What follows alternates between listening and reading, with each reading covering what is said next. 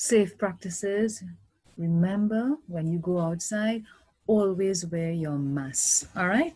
Always have your mask. Um, when you come back from places, don't forget to wash your hands. Buenos dias, niñas. Buenos dias, mama, papa. Buenos dias, tio, tia. Buenos dias, abuelo, abuela. Buenos dias, good morning. Good morning, girls, mommy, daddy, uncle, aunt, grandpa, grandma. Welcome to our second lesson in art. Um, we, we will most likely need your help, but I think these girls can do most of it. All right, so let's look back. I understand that some girls had a little bit of problems with their um, their their work, right? Let me just make sure I just make sure I screen share with you, right? Right. So let's go back to our Let's go back. Sorry about that, girls. Good. So in our last lesson, we started the model of Trinidad and Tobago. And I found just for a fact, I wanted to let you know that Trinidad is part of the Andes Mountain. Our landmass was attached to this. And this huge landform was part of ours. Bearing that in mind, if you look carefully, so we are a little, little dot. This is what we look like. So we are part of that mountain range, that, that relief, that land feature. Look at it. Look at how the, the mountains, you see like there's a ridge and there are little, little valleys in between and it continues right here. Okay? Let me see if I get my, my cursor, my laser pointer. Right. So you will see this is very much similar to this. Very much similar to this. All right? And remember that because we need to use that fact in what we're doing.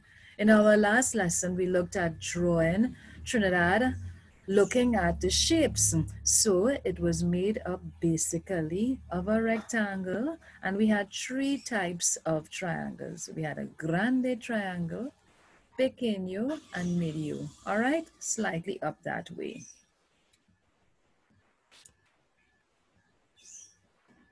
A lot of people will say, I can't do this. Remember, girls, I can do all things with Christ who strengthens me. Don't say you can't, you could. All right?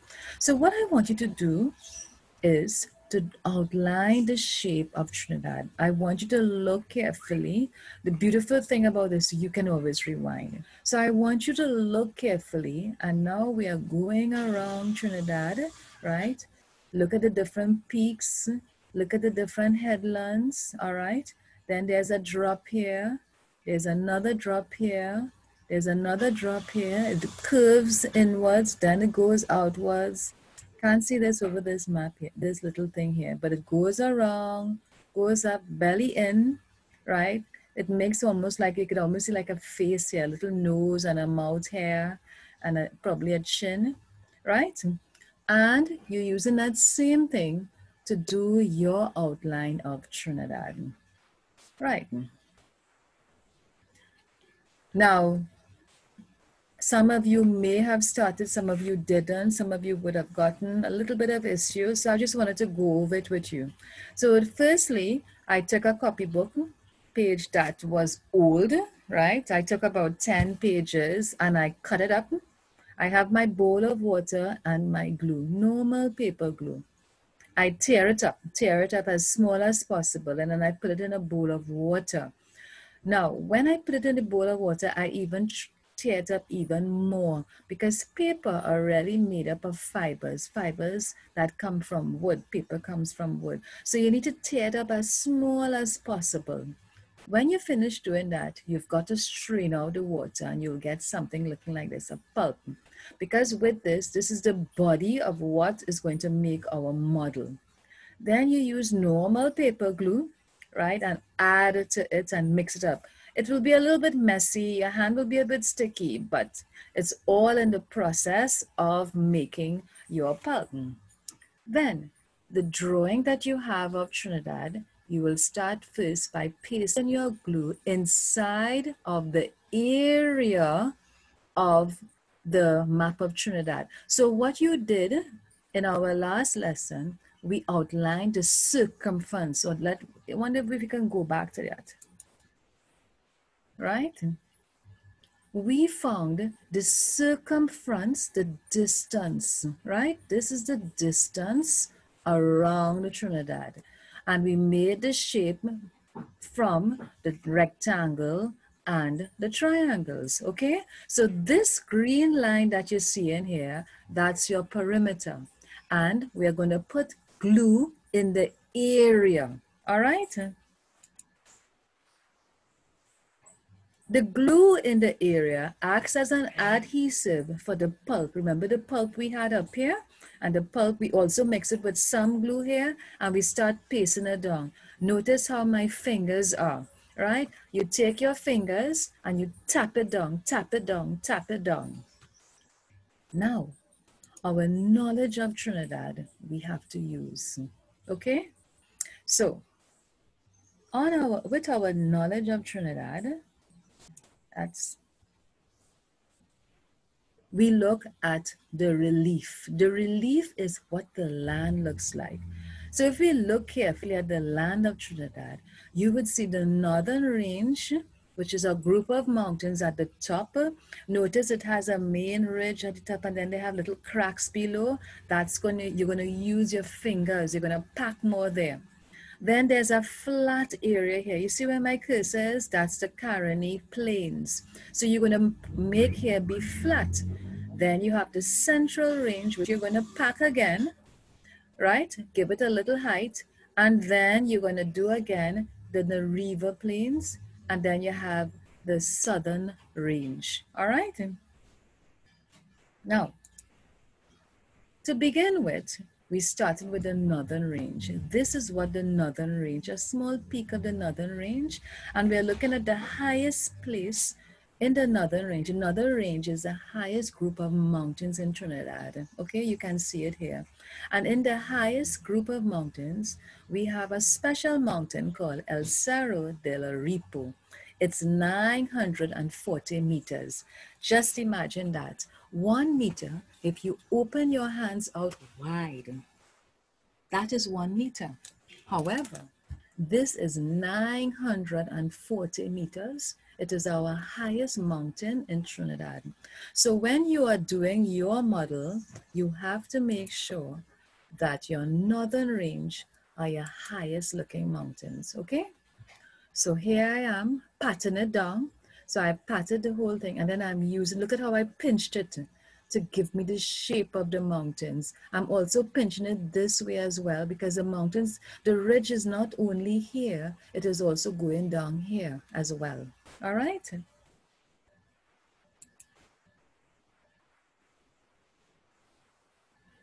So here we have El Cerro del Aripo. And it is, do you know that El Cerro del Aripo is famous for the golden tree frog? It's, it's a, do you know too, it's also near extinction.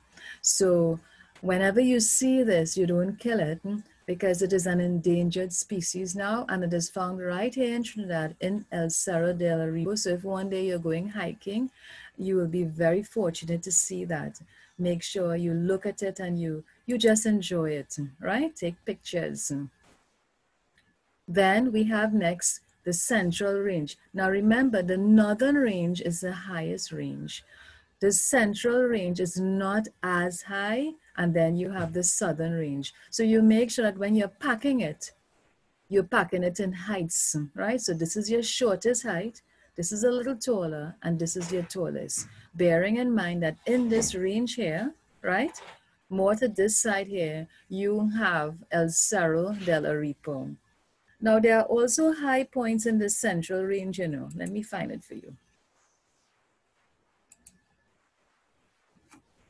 In the central range, you have Mount Tamana. The highest point is 308 meters. And in Tamana, there are a lot of caves, bats. And I hear it's, and you can go there. It's very exciting. A lot of people go out. There are a lot of hiking trails there, and you will see um, the the oil birds. They are all they are found in these caves. All right, in Mount Tamana in central Trinidad. Next, all right, we have the Trinity Hills, which is not as high as the other two. All right. So when you are building your model, it should look like this. All right. So you can clearly see your northern range is very high. Your central range is a little bit shorter. And the southern hills, the southern range, it is not as high. All right. Now, when you're finished doing this, most likely it's going to be wet. I know the past few days it has been very wet and the sun has not been able to dry it out properly. But this is where abuelo, abuela, tio, tia, mommy, daddy comes in.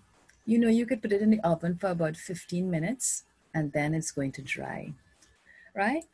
Good. So let's look at Mayo now. So this is what it's going to look like. And let me first hold it for you to see what it looks like. So this, I had to put it in the oven because I've had some wet, wet days. So if I were to rest it down like this for you to see, let me see if I can get this properly. Right. You can see clearly, right, that here my northern range is the higher one, the highest. Then I have my central, and then I have my southern range. Okay, so you can see my relief. Right, let's get now to our painting. So we want to paint our mountains, okay? Remember, when we are painting, always have ourselves dressed and ready for paint because you don't want to spoil your clothes. So you put on your apron, right? You put on your apron, then you get out your large paintbrush. Remember, for large areas, we always use a large paintbrush. And to hold a paintbrush, thumb, pointer finger holds it like this, okay? You dip into it, right? Then you start painting. What's beautiful about papier mâché is really paper with water. So you dip and you paint right? It is just like painting on paper. In fact, it is painting with paper with glue. Paper mixed with glue. And you paint it like that.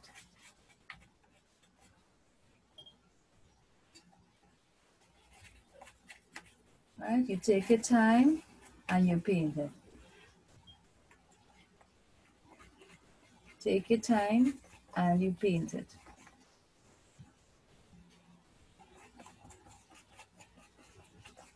Now this goes, we took, we took firstly our map of Trinidad, which was one dimensional, right? Meaning it was flat. And now we made it three dimensional. By packing it up like this with the mountains, it gave it relief. It is now not no longer flat. It is elevated, okay? And here we can see our mountains. I am now painting now. When you're painting, you should be going through your mind, okay, where am I painting now? Right, this is the Caroni Plains. I am painting here now, okay? Now I'm going to the central range. I'm painting the mountains on the central range, like that.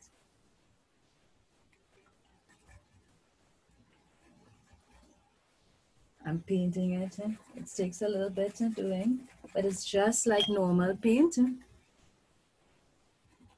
It's just that you're painting on something that's a little raised, eh? right? Eh?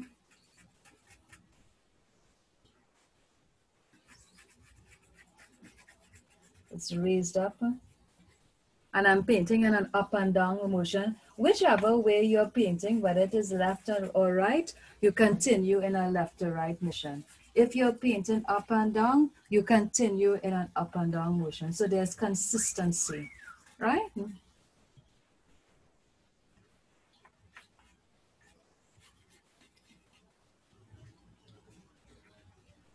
So there you go. So here I have finished my map of Trinidad and Tobago and I want to show I want to show the different mountain ranges because in one color here, it looks as if it is one level. So I want to make it look a little higher. So I'm going to put the higher areas in a little bit of a darker green, but I don't have dark green. So here's how we use our palette. So we have our palette. The first color I'm going to put in here is the green, which I already have, right? And I'm going to touch my blue. The blue, I'm going to touch it here. I'm going to mix it and it's going to give me a darker green. So my areas that are raised up, I'm just going to touch it because I want it to look darker. I want it also to show that these are my higher areas, right? These are my higher areas.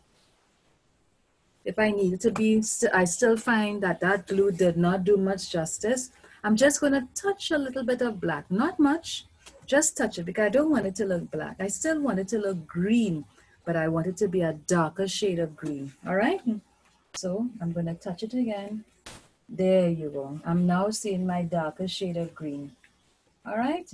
So this is also girls you will notice that it is, notice how I pinched it. I pinched it where some of the mountains are going down. That's the different valleys we have, the Santa Cruz, the um, St. Anne's valleys, the Diego Martin. It's all going a little bit down. We have the main ridge, which is here, the continuation of the Andean ridge. Remember I showed you the Andean? So it's continuing here, but we also have some mountains coming down here, right? So I'm painting down here. Then I'm going to central, central, which is divided. And I'm just going to touch it up like that, right? And then I have my southern range with the Trinity Hills, right? So I'm going to touch it up like that. Good. Now we are finished. Lastly, we're going to paint the water. The water, we're going to do a wash, right? So let me just change my water here. Give me a minute.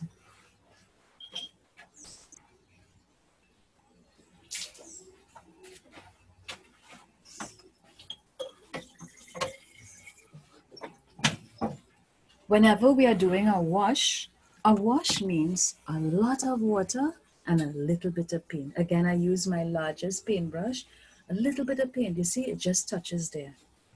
And well, for my wash, I'm going to do it left to right now. So I'm going to go across, left to right, right? So I'm creating my background. This is my background. So again, I'm painting it like this. Just touching it with paint, a lot of water. Water is the key, right? Oh, I added too much paint there. So therefore, I'm not adding any more paint. What I'm going to do is keep on adding water now. No more paint. Water. I'm just going to work with my water now. Right? And I need to even it out because you don't want one side looking darker than the other. Right? So I'm going to get that paint out from there and finish it on this page here, right? So with a wash, even if you might make a mistake and use too much at one time, that's okay. What you can do is just add water and spread it because the nature of what it is you want to do, what it is you want to do is you want to create a wash. All right?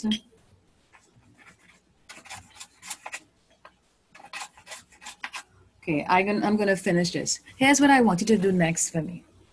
I want you, I want you to do a little drawing of a house, you, right? You can represent it either one dimensional, meaning you can draw yourself, right?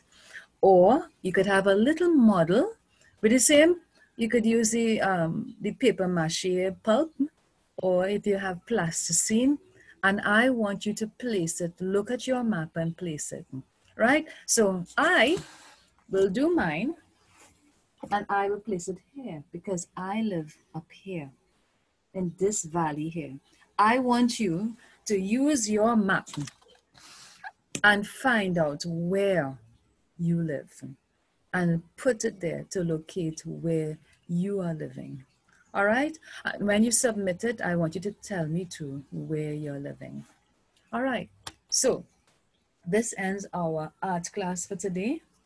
Remember, safe practices. And also, if it gets a little difficult, always remember to say, I can do all things with Christ who strengthens me. And I know, I know that God, I love God and God loves me. And I could love everybody. And is in this love, you will find strength to do anything that you have to do. Right? So have fun. I look forward to seeing your work.